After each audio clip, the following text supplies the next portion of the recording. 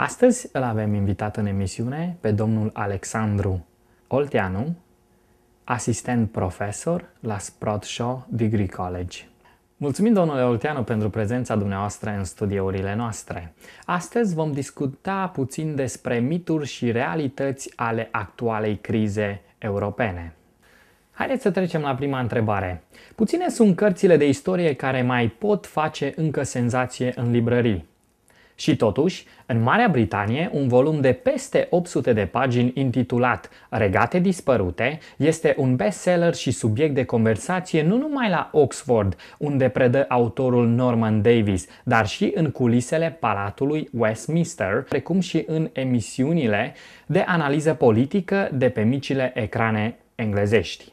Ce teme abordează Davis în regate dispărute și de ce par ele să fie de atât de mare actualitate pe ambele maluri ale Atlanticului? Există în acest moment, uh, de câțiva ani, pe ambele maluri ale Atlanticului, um, un discurs foarte pesimist care spune că țările occidentale sunt în declin și că ne așteaptă un viitor în care valorile și libertățile noastre pe care le-am cucerit de-a lungul secolelor vor fi în mare pericol.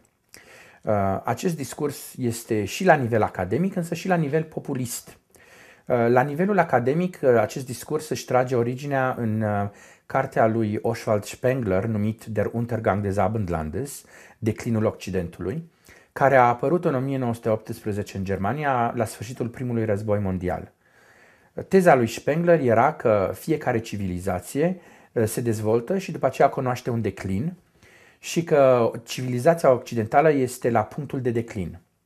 Um, în plus, a doua parte a tezei lui este că sistemul democratic al uh, țărilor occidentale este mult prea slab și prea corupt să oprească acest declin. Deci, cum reia Norman Davis temele lui Spengler?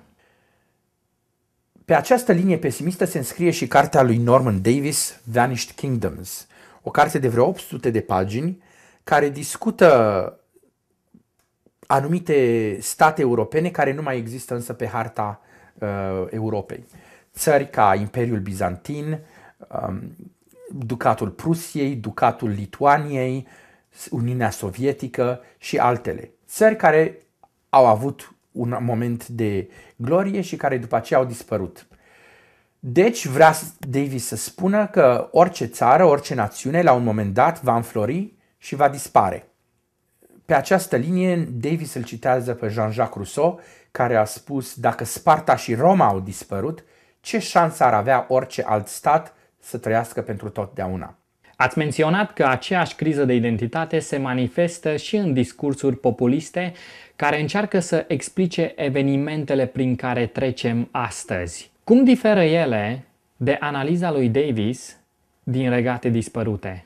La acest discurs academic pesimist corespunde și o polemică populistă ultranaționalistă care găsește soluția problemelor pe care le aveam astăzi într-o recuperare a puterilor date instituțiilor europene sau globale și a renaționalizării conducerii diverselor națiuni europene ca state independente care să nu depindă de oricare alt stat sau organizare supranațională. Pentru a realiza acest lucru, acest discurs populist propune patru spectre care ne-ar pune în pericol uh, în următorii ani. Și aceste patru spectre sunt prezentate ca democrația parlamentară, suprastatul european, un capitalism fără reguli și modelul chinez. Ne puteți rezuma pe scurt mesajul principal al fiecăruia din aceste patru modele? Primul spectru care ni se prezintă este imaginea unei democrații parlamentare corupte, unde politicienii noștri nu au decât un interes personal de a se îmbogăți și de a își apăra interesele lor personale și nu ale statului pe care îl conduc. Alternativa propusă este aceea a unui conducător cu mâna de fier care va pune interesul național înaintea intereselor politicienilor corupți. Din păcate, după cum știm foarte bine, experiența europeană și chiar cea a românilor cu conducători cu mâna de fier nu a fost exact pozitivă în secolul 20. Al doilea spectru de care ar trebui să ne fie frică este acela al unui suprastat european condus de Germania.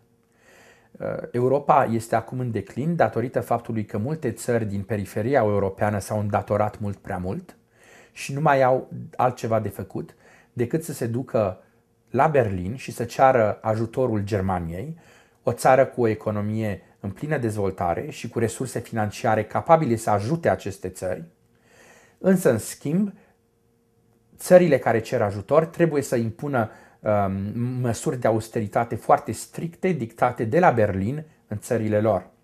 De aici nu mai există decât un singur pas uh, la ideea de un imperiu european în care toate țările europene își pierd independența lor politică în favoarea unei Germanii dominante. Marea majoritate a cetățenilor europeni uh, nu cred însă în acest spectru și își dau seama că libertățile lor personale și politice sunt mult mai protejate de instituțiile europene decât ar fi de un uh, șef naționalist care ar recupera puterile din Europa la nivel național și ar impune o politică naționalistă și represivă în fiecare țară europeană. Deci nici acest model uh, nu are o validitate. Al treilea spectru prezentat de aceste discursuri populiste ar fi un capitalism globalizant, fără reguli și fără milă, în care banul devine puterea esențială a manierii în care o societate este condusă. Nu mai există reguli decât aceea celui mai puternic și a celui mai bogat, nu mai există decât capacitatea de a domina a celor care uh, au acces la finanțe asupra celor care nu au de lucru și care nu au capacitatea de a uh, se finanța. Însă acest mit al unui capitalism feroce, fără reguli și fără frontiere, um, a fost invalidat tocmai de criza financiară prin care am trecut. Cele mai mari bănci americane și marile companii de automobile din Statele Unite toate în pragul falimentului, au trebuit să se ducă la Washington să ceară guvernului american un împrumut pentru a nu da faliment. Deci, statul american, cu banii populației, a salvat aceste bănci și aceste companii uh, de la distrugere. Este clar, deci, că ideea de o piață liberă, în care nu mai există guvern, nu mai există reguli și unde numai uh, tranzacțiile financiare contează, este un mit care nu se bazează pe nicio realitate. Instituțiile politice și de guvernare care există astăzi sunt absolut vitale pentru funcționarea unei pieți libere care poate supraviețui. Al patrulea spectru prezentat în discursurile populiste de care ar trebui să ne, o să ne fie frică este cel al modelului chinez. Acest model ar combina o eficiență economică de piață, combinată cu o eficiență politică a unui partid unic, capabil să ia deciziile de rigoare în situație de criză și capabil să dea populațiile țărilor respective un nivel de viață din ce în ce mai ridicat. În contrast, modelul liberal-democratic vestic nu mai este capabil să ia deciziile necesare pentru a ieși din criză și pentru a reda populațiilor acestor țări un mai bun nivel de viață.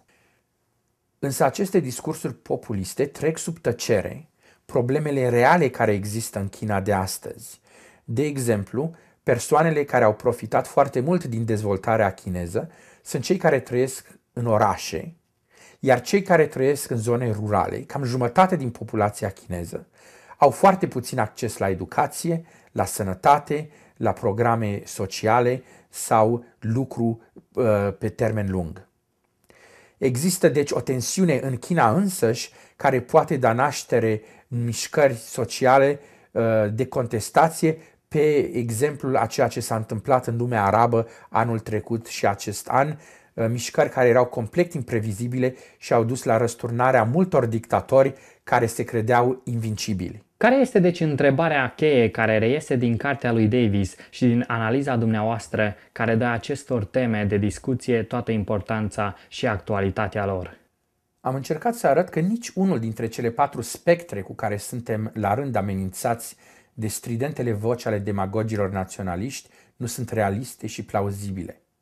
În același timp, soluția lor de renaționalizare a puterilor cedate instituțiilor europene și globale pentru a recrea o independență totală națională are mai mult o valoare mitologică decât adevărate baze istorice. Și totuși, criza economică și politică majoră care a început în 2008 continuă și nu pare a avea un sfârșit în viitorul apropiat, mai ales în Europa.